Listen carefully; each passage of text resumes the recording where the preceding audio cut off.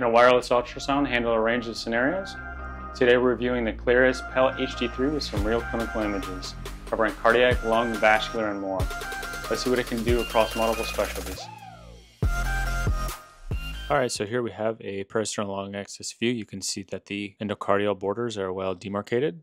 Next, we have a parasternal short axis view. And again, you can see that the structures appear fairly sharp. And here is a parasternal short axis view at the level of the aortic valve. In this apical four chamber view, we can clearly see all four chambers of the heart, both atria and ventricles, while the thin septum between the left and right heart is well defined.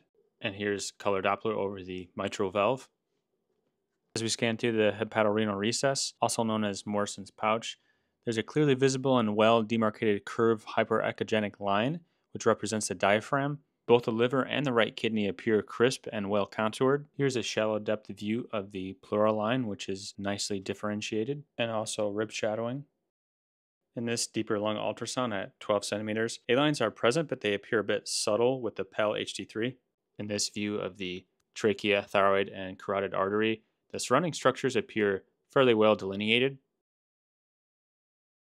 now moving on to the bladder, the posterior wall is distinct and easy to follow. In this vascular preset, the peripheral vein is prominently displayed, easily discernible with well-defined borders. Uh, the overall image appears fairly sharp, uh, capturing the vein's smooth, compressible nature. And here we have a longitudinal view of the same vein. At the wrist level, the radial artery is visible, accompanied by paired veins on either side. Although the vascular structures are smaller and there's some noise around the vasculature, the artery and veins are still discernible, with the pulsatile flow of the artery and the compressibility of the veins easy to identify. And here's a longitudinal view of that same radial artery. Here's some additional vascular image samples from the PAL HD3. This is the brachial neurovascular bundle. The brachial artery is center aligned with paired veins. And this is the brachial artery from a longitudinal view. Lastly, we have an image of the femoral vasculature showing the great saphenous vein at its junction with the femoral vein.